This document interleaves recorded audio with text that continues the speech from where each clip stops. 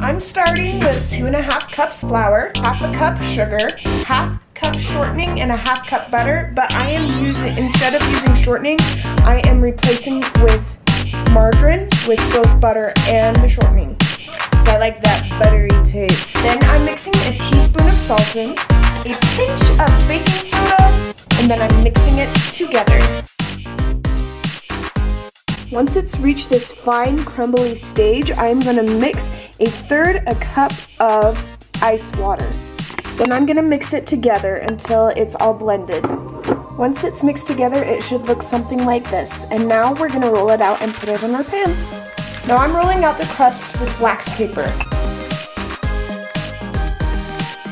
Once I'm done rolling it out, I'm, I'm going ahead and putting it in the pie tin. Then I'm cutting off the excess pie crust. For the cream filling, I am mixing a cup of sugar and a full bar of cream cheese. Once the sugar and cream cheese are done, I'm gonna put it in the bottom of my pie.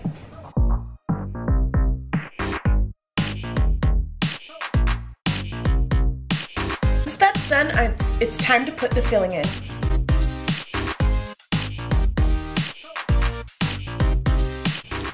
Then it's time to put the crust on the top of it. Once you have the top on your pie, you are gonna put it in the oven at 350 for about a half an hour and checking on it all the time. When it's gotten to the halfway mark of cooking it, I'm just taking a egg wash and I'm, I'm just gonna get it and I'm gonna brush it on top of the pie.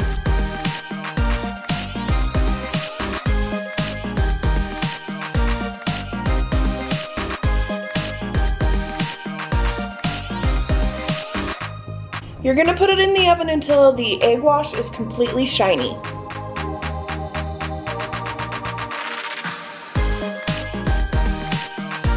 Once you're done, this is what the pie looks like. And it's all done and it's so beautiful. Time to cut the pie.